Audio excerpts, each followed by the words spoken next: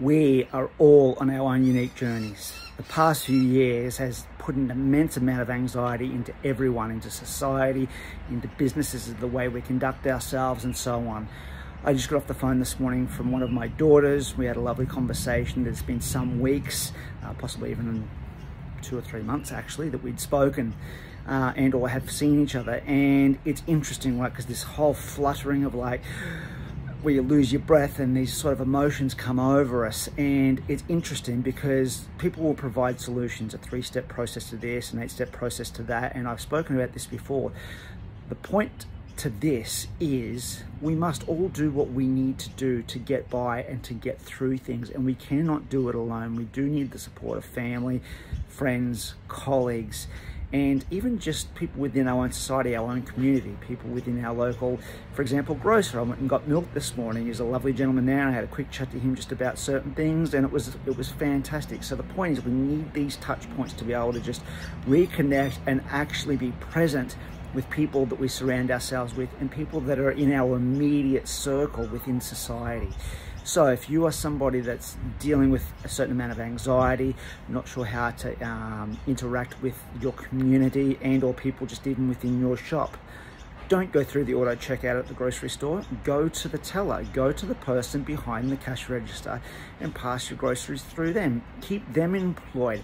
Pay them with cash to what it is that you're having the service provided for talk to them, ask them how their day is. I'm sure if they're a if they're a good sales attendant or, or cash cash clerk, that they're going to ask you how your day is.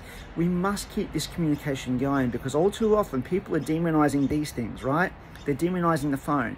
The phone is not the problem. It is not the challenge. The challenge is us, is we, is I, is me, is you. We can't blame the phone. We can't blame the technology. They are merely a tool, right? They are merely, merely the tool, and all they are doing is extrapolating what is in here, what is in here, and what is in our gut. So, be personable. Say hello, smile to the person walking past you, open the door for somebody, hold the door for somebody.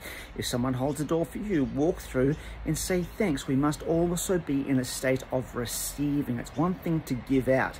For example, I pay a coffee forward every single week, at least one, I will buy myself a coffee and pay a coffee forward, if not two or three. That for me is just something that I like to do. Whether the people at the coffee shop do it or not is not for me to decide. That is up to them. But my intent is to pass coffees forward to the person behind me and or the group of two or three that may come forward. Uh, sorry, can't come to the come to the um, to the register uh, post me. So the point is we must be personable, smile, say hello, say good morning, good afternoon, whatever it might be, and just be personable. So take care, have a great day, and step out into what your local surroundings are because there are good people around us everywhere.